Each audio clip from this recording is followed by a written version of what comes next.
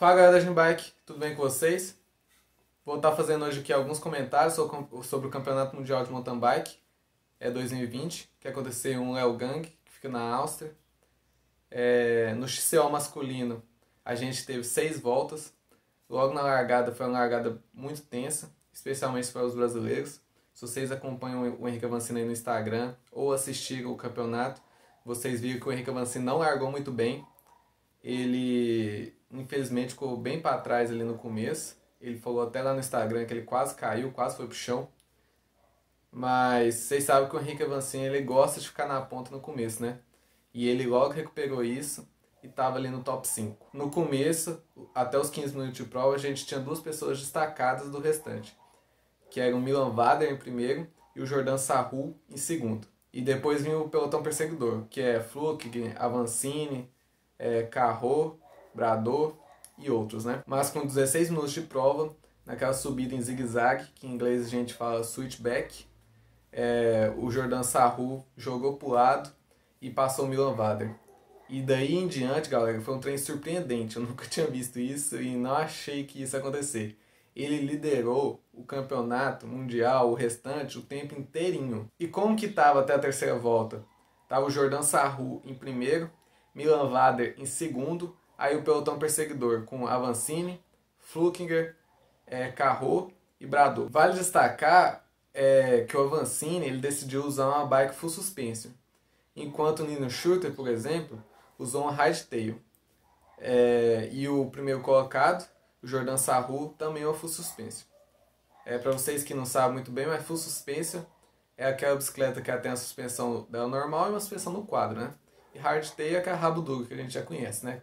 Que é bem comum. Outra coisa também que eu vou destacar é como que o Fluker desce bem. Tem uma, uma descida lá que ficou muito famosa do povo caindo lá, que é uma descida bem larga e bem lameada, um pouco antes da chegada.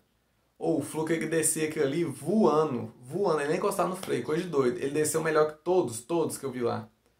Ele estava muito forte. Com 36 minutos de prova, a gente teve uma alteração nessa classificação. O Milan Vader caiu uma vez. Mas mesmo assim, ele não foi ultrapassado. Só que com 39 minutos de prova, ele caiu de novo.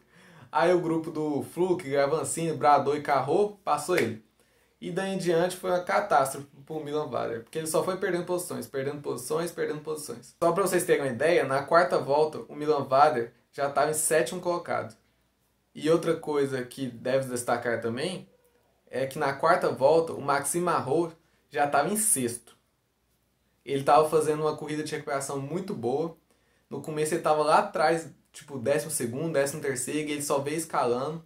E presta atenção aí que o menino vai longe. Agora, na quinta volta, infelizmente, o Henrique Avancini começou a perder um pouco de ritmo aí. Porque até a quinta volta, lembrando que são seis no total, o Henrique Avancini sempre estava ali no, no, pelotão perseguidor. É, junto com o Fluker, em busca do Jordan Sarru. Apesar de sempre o Jordan Sarru estar tá a pelo menos um minuto de distância desse grupo. Jordan Sarru fez uma prova impecável. Você imagina o que é colocar um minuto de distância é desses profissionais aí? Muito difícil mesmo. Só que na quinta volta, o Henrique Avancini começou a ficar para trás. Ficar para trás, ficar para trás, ficar para trás. E ainda na quinta volta, o Maxime Marrot passou ele. Só que ali, eu não, não entendi muito bem o que, que tinha acontecido na hora que eu estava assistindo a prova. É, no começo da sexta volta, o Henrique Avancini já estava 20, 20 segundos atrás do Maxime Marrot. O Henrique Avancini estava em sexto. Maxi Marro em quinto. E ele foi ficando mais para trás, mais para trás ainda. Eu falei assim, mas será que ele quebrou? Aí depois eu fui no Instagram dele e eu vi ele falando que tinha furado o pneu, né? Ele não falou o momento que ele furou, mas eu acredito que seja aí, entre a quinta e a sexta volta. Porque a partir daí, ele só foi ficando mais para trás, mais para trás. E lá na frente, como que tava? O Flukinger tava muito bem. Depois que o Milan Vader caiu, ele sempre ali em segundo. Com aquele jeitinho pedalando dele assim, meio pulado, assim, balançando. muito engraçado, muito forte. E terminou assim, né? Jordan Sarru com um minuto na frente. É, Flukiger em segundo, já é o segundo ano consecutivo que o Flukiger pega aí o segundo colocado né, do campeonato mundial. Ano passado também ele pegou. Depois a gente teve Carro, Brador e no final a gente teve um sprint finish entre Oder Sink e Maxi Marrotti. Foi um, mas foi um, um sprint finish meio Nossa, fiquei com dó do Maxime Marrote, porque o Maxime Marrote fez o sprint finish com o pneu furado. Ou o Maxime Marrote estava muito forte, mesmo com o pneu furado, ele conseguiu chegar tão bem. E eu acredito que se ele não tivesse furado o pneu, ele tinha pegado quarto colocado, certeza. Mas aí furou o pneu, né? E o Odransin que aproveitou essa oportunidade e passou ele. Esse foi o XCL masculino. Vou falar um pouquinho do XCL feminino. O XCL feminino foram cinco voltas, uma volta a menos do masculino. No começo já teve queda, a Brado caiu e teve quedas ao longo do, da prova inteira. A Kate Kurtner, que é dos Estados Unidos, também caiu depois e caiu fake. Ela ficou um tempão lá para arrumar e ela terminou bem para trás. E essa, não sei nem o que falar, essa prova foi da Pauline Prevot. Do começo, da start lap até o final, ela estava primeiro colocado. E não é tipo assim, primeira e as outras perto, não.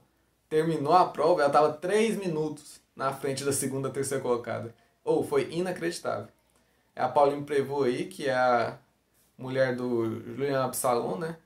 Que todo mundo que acompanha aí sabe, o cara é um mito, né? E ela é forte demais. A Raíza e a Letícia Cândido já tinha sido cortado faltando duas voltas pro final. O que, que é isso cortada? Eles têm um negócio lá que, tipo assim, é que a líder não pode passar última, as últimas colocadas, né? Senão começa a embagalhar e tal. E faltando 80% do, do tempo, se alcançar 80% do tempo de completar a volta e eles verem ali que vai alcançar, eles começam a cortar as atletas, né?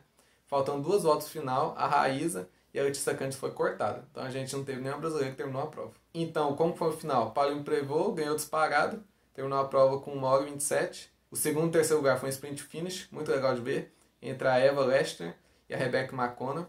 A Eva Lester é, levou a melhor, mas mesmo assim, o segundo e terceiro colocado, igual eu já falei, estava 3 minutos atrás é, da Paulinho Ferrão Prevot. Ela fez uma prova impecável, foi bonito de ver, sabe? Desce muito bem, anda muito forte, psicológico bom, a mulher é fé.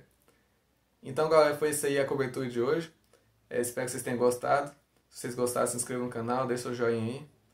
E pra quem é, já sei que vai reclamar aí, por que, que não tem imagem, por que, que não tem imagem, é porque a gente não pode usar imagem da Red Bull, né? Porque senão a gente leva um strike e corre o risco de perder o canal. Mas foi isso aí, galera. Espero que vocês tenham gostado e até a próxima.